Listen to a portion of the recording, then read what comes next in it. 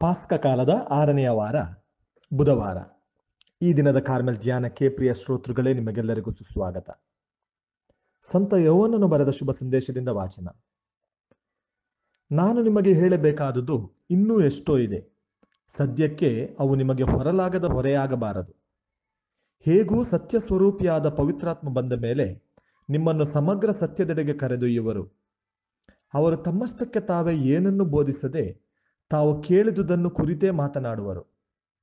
ಮುಂದೆ ನಡೆಯಲಿರುವುದನ್ನು ನಿಮಗೆ ತಿಳಿಸುವರು.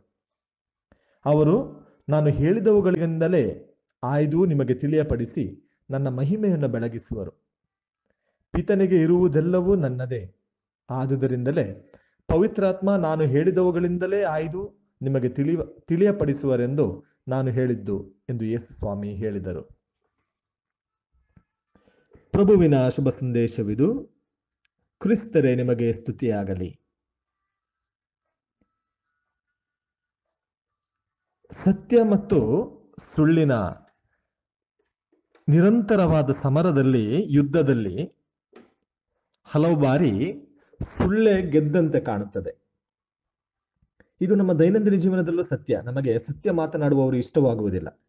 ಯಾರು ಸುಳ್ಳು ಮಾತನಾಡುತ್ತಾರೋ ಅವರನ್ನ ಹೆಚ್ಚು ಇಷ್ಟಪಡುತ್ತೇವೆ. ಅವರನ್ನ ಹೆಚ್ಚು ಹಿಂಬಾಲಿಸುತ್ತೇವೆ. ಈ ದಿನಗಳಲ್ಲಿ ನಮಗೆ ಬಹಳ ಸುಲಭವಾಗಿ ಅರ್ಥವಾಗುವಂತಹ ವಿಷಯ ಅನೇಕ ರಾಜಕಾರಣಿಗಳು. ಯಾರು ಹೆಚ್ಚು ಸುಳ್ಳು ಮಾತನಾಡುತ್ತಾರೋ ಅವರು ಜನರಿಗೆ ಹೆಚ್ಚು ಪ್ರಿಯರಾಗುತ್ತಾರೆ.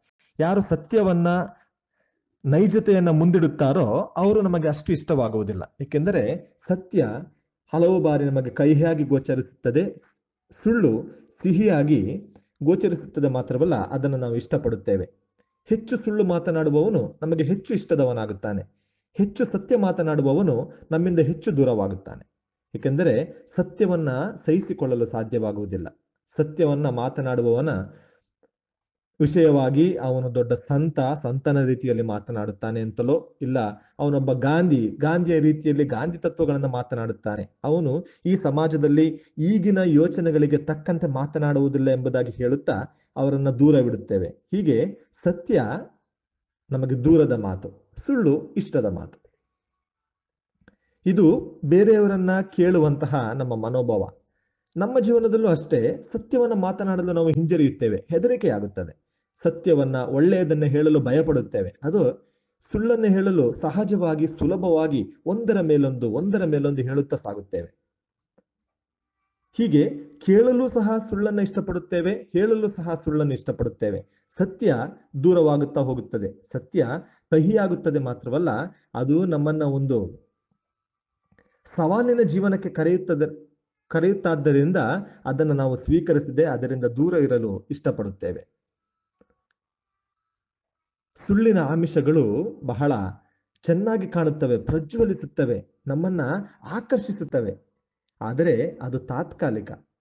ಸತ್ಯ ನಮ್ಮನ್ನ ಅಷ್ಟು ಸುಲಭವಾಗಿ ಆಕರ್ಷಿಸದೇ ಇರಬಹುದು. ಕಹಿಯಾಗಿ ಗೋಚರಿಸಬಹುದು. ಆದರೆ ಅದು ಯಾವಾಗಲೂ ಶಾಶ್ವತವಾಗಿ ಉಳಿಯುವಂಥದ್ದು.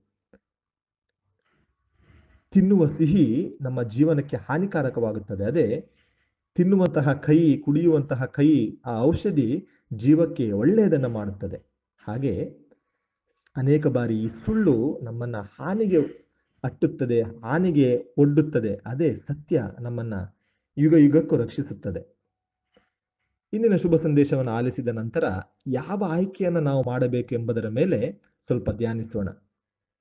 ಯಾವುದು ಸುಲಭವಾಗಿ ಸಿಗುತ್ತದೆ ಎಂದು ಅದನ್ನು ಹಿಂಬಾಲಿಸಿ, ಅದನ್ನು ಸ್ವೀಕರಿಸುವ ಬದಲು ಯಾವುದು ಸರಿಯಾದುದು ಯಾವುದು ಹೆಚ್ಚು ಉಪ, ಉಪಕಾರ ಉಪಕಾರಿಯಾದುದು ಯಾವುದು ಯಾವುದು ನನ್ನ ಜೀವನದಲ್ಲಿ ಹೆಚ್ಚು ಒಳಿತನ ನನಗೆ ಮಾಡುತ್ತದೆ ಎಂಬುದನ್ನು ಅರಿತು ಅದನ್ನು ಸ್ವೀಕರಿಸಲು, ಅದನ್ನು ಹಿಂಬಾಲಿಸಲು ಪ್ರಯತ್ನಿಸೋಣ.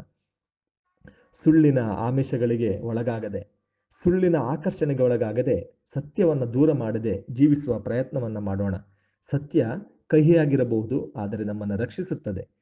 ಸತ್ಯ ಇಂದು ಸ್ವೀಕರಿಸಲು, ಅದನ್ನು ಅಪ್ಪಿಕೊಳ್ಳಲು ಸ್ವಲ್ಪ ಕಷ್ಟವಾಗಬಹುದು, ಆದರೆ ಅದು ನಮ್ಮನ್ನು ಅಪ್ಪಿಕೊಂಡು ನಮ್ಮನ್ನು ರಕ್ಷಿಸುತ್ತದೆ. ಅದು ಸುಳ್ಳು ಇಂದು ನಮ್ಮನ್ನು ತಾತ್ಕಾಲಿಕವಾಗಿ ಅಪ್ಪಿಕೊಳ್ಳಬಹುದು, ಆದರೆ ನಮ್ಮ ಕಷ್ಟ ಕಾಲದಲ್ಲಿ ಅದನ್ನು, ಅದು ನಮ್ಮನ್ನು ಇನ್ನೂ ಹೆಚ್ಚಿನ ಕಷ್ಟಕ್ಕೆ ನಮ್ಮನ್ನು ತಳ್ಳುತ್ತದೆ. ಸತ್ಯ ನಮ್ಮನ್ನು ರಕ್ಷಿಸುತ್ತದೆ ಎಂಬ ಸತ್ಯವನ್ನು ಅರಿತು, ಆ ಪವಿತ್ರಾತ್ಮ ಸತ್ಯವನ್ನ ಪ್ರೇರಿಸ್, ಪ್ರೇರೇಪಿಸುವ ಸತ್ಯವನ್ನ ಆಲಂಗಿಸುವಂತಹ ಪ್ರೇರಣೆ ನೀಡುವ ಪವಿತ್ರಾತ್ಮನನ್ನು ಆರಾಧಿಸಿ, ಸ್ವೀಕರಿಸಿ, ಆತನ ಪ್ರಸನ್ನತೆಯನ್ನು ಅನುಭವಿಸಿ, ಒಳ್ಳೆಯ ಜೀವನವನ್ನು ನಡೆಸಲು ಪ್ರಯತ್ನಿಸೋಣ. ಆಮೇನ್. ಇದು ಮೈಸೂರಿನ ಪುಷ್ಪಾಶ್ರಮದ ಬಾಲಯೇಸುವಿನ ಪುಣ್ಯಕ್ಷೇತ್ರದ ಕಾರ್ಮಿಕ ಸಭೆಯ ಯಾಜಕರ ಕೊಡುಗೆ.